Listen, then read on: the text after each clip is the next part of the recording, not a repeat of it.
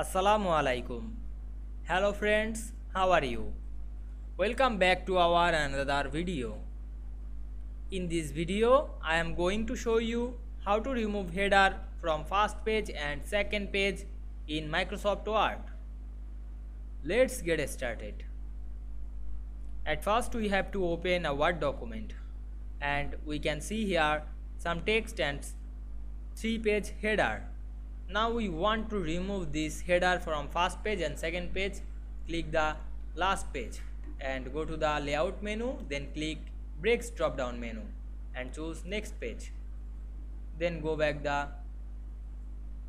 insert menu then double click on the header text. Then click link to previous then go to the second page and close the header text then click close header and footer.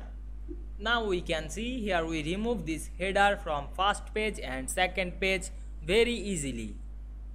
I hope you enjoyed the video. Please like comment share and subscribe my channel. Thanks for watching